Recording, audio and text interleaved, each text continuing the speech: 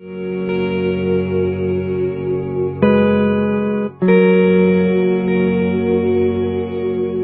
name is Ibidabo Abam. I'm here to say God's name in different languages.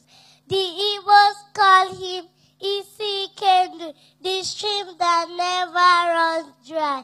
Omakausibiwa, my creator, Odimanemema, the door of all that is good.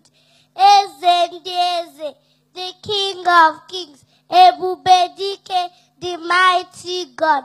The Yorubas call him Oba Waba, the king of kings. Olawabaye, the God of the universe. Onishe Iyanu, he that does wonders. Alabara Giga, the powerful God. Alabada Ina, the one who is clothed with fire. Alawa Babara, the outstretched arm of God.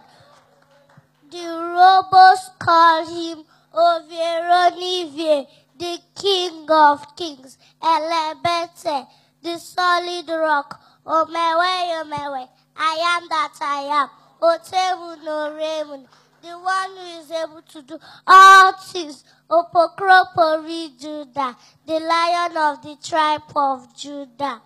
My people in Okrika call him Sonakrina Temetamuno, creator of heaven and earth. Kuromambayana Tamuno, all powerful God. Alapumambabi Alabo, King of all kings. Dumo Pripribo, giver of life. Fia fia fia fia fia fia tamuno. Holy, holy, holy God. And in English we call him the way maker, the miracle worker, the promise keeper, light in the darkness, the unchangeable God, the unchangeable changer, reliable God, dependable God, ancient of days. I am that I am. Can stand against my God? He is the ocean divider, the storm ca- calmer, all powerful God. That is the God we are serving. Can we all stand up and behold the King of Kings and the Lord of Lords? Hallelujah.